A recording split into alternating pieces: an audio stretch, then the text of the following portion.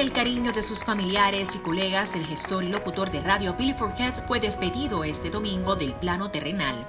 Y el hijo que la vida le regaló, el también locutor de SBS, es uno de los varios mensajes que ofreció ayer en su honor durante la misa en la funeraria Jackie Oliver y el sepelio en el cementerio civil de la playa de Ponce. El anfitrión del programa El Despelote de la Nueva 94, que ahora entrará en una nueva etapa tras la salida de su creador, expresó lo siguiente. Este, a nombre de la familia, aquí está Carmencita, está Eileen, su esposa Jennifer, y, que puedo verlos aéreamente aquí. Quiero agradecerles a todos de parte de la familia eh, y nosotros, ¿verdad? Que somos familia de Billy. Billy siempre mencionaba con orgullo la playa de Ponce. En la radio.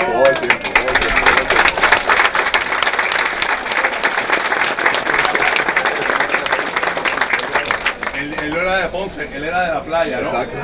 De la misma forma, los familiares, en especial la viuda Jennifer Castro, respetaron las peticiones de quien fue un visionario de la radio y llevaron el orden de las cosas como él lo hubiera hecho. Trataré de marcar el teléfono para ver si me contestas y podemos seguir conversando. Sé que, fui, sé que te fuiste en paz. Sé que ahora escribirás guiones en el cielo y harás reír a todos por allá.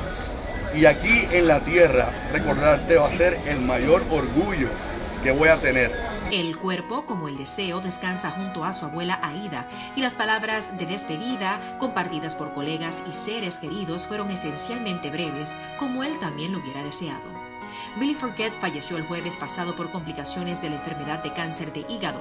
A la misa asistieron Jorge Pavón Molusco, Sixto Pavón, ejecutivo de la cadena SBS, Jimmy Arteaga, vicepresidente de programación de Guapa, Maripili, entre otros.